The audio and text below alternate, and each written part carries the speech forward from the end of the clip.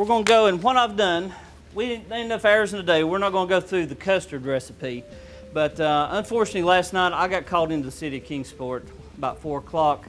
We had trees down, if y'all know the storm. And so I ended up working about 10 o'clock and then come home and made homemade custard. So you'll see on that recipe there the basic mix mixture and how you go about making that custard. And maybe Leslie have somebody else or me or whatever come back and sort of show you that. Um, but what we're going to do right now is kind of go through the different uh, stuff you can add to it. So you have this basic mixture that we use and we have put in the ice cream machine and frozen up. And you can go to Walmart, Food City here, I'm sure they have the little mixes that you can just make homemade ice cream with, not go through all the custard. I just love the homemade custard. And so you can see my procedure there for doing that.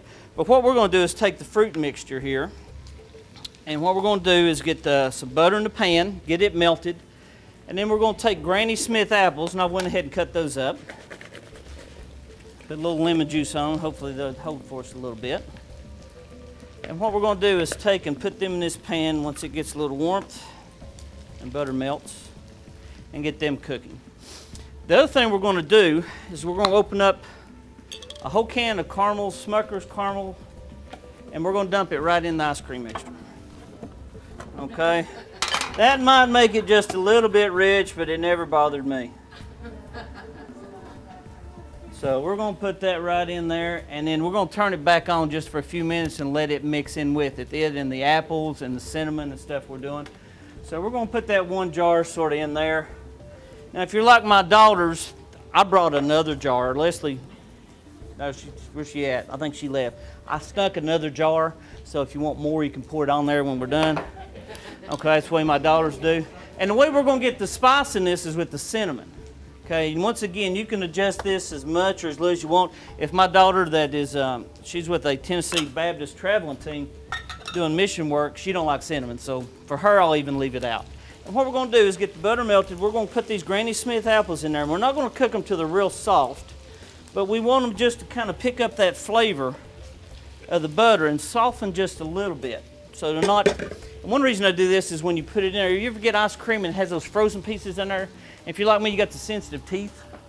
When you bite into that strawberry ice cream, it's got that strawberry in it. It just kind of goes all the way down to your toenails, you know.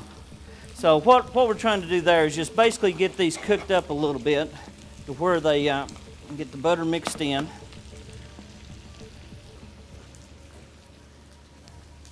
So those will take just a second here.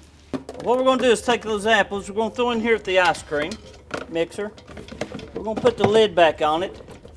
And we're going to plug it in just for a little bit, just to get all the apples, the caramel, and all that other mixed in together. Now, it's going to melt a little bit, but I like mine. You can ask my wife, I got ice cream at home, what do I do, honey? I take it out and put it in the microwave. Okay? mix it up, put stuff in it, mix it up, put, put it in the microwave. So that's what I tend to do. Right, I believe that's mixed enough. We're going to turn that off and we'll let it set there a minute and get all good.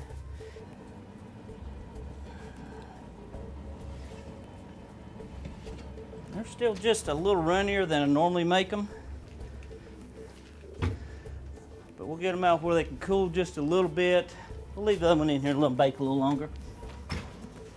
Yeah, one, one thing I do is, and, and like I said, once again, depends on how many people you have over or how big ears you have, but you can put this back into the freezer, let it harden up, and you can eat it for quite a while, okay?